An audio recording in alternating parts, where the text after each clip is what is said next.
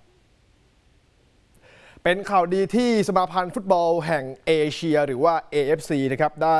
แต่งตั้งบุคลากรวงการลูกหนังไทยเข้าไปเป็นส่วนหนึ่งของ AFC โดยดาโตวินเซอร์จอห์นเลขาธิการทั่วไป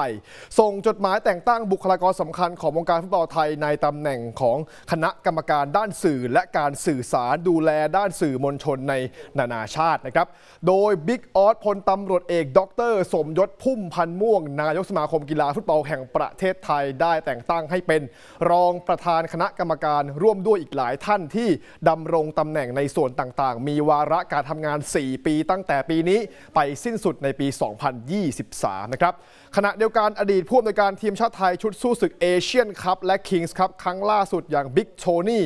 กิติศักดิ์จำปาทิพพงศ์ประกาศขอลาออกจากตำแหน่งหลังจากเสร็จสิ้นภารกิจนะครับ ส่วนอดีตกุนซืออย่างโคชโตยสิริศักดิ์ยอดญาติไทยนะครับ ที่เพิ่งลาออกไปก่อนหน้านี้ตกเป็นข่าวถูกทาบทาม ให้ไปทำทีมราชบุรีมิตรผล FC หลังจากเสร็จสิ้นการอบรมโค้ชระดับโปรไลเซนที่ประเทศญี่ปุ่น แต่ยังไม่มีการแต่งตั้งอย่างเป็นทางการนะครับโคชโตยังไม่มีงานในเมืองไทยนะครับ ส่วนฟุตบอลเยาวชนล่าสุดทางนักเตะทีมชาติไทยชุดอายุไม่เกิน 19 ปีขออภัยครับลงฝึกซ้อมเตรียมยมทีมสู้ศึกชิงแชมป์อาเซียนที่เมืองโฮจิมินห์ประเทศเวียดนาม ในเดือนสิงหาคมนำโดยโค้ชอย่างอิสสระศรีทะโร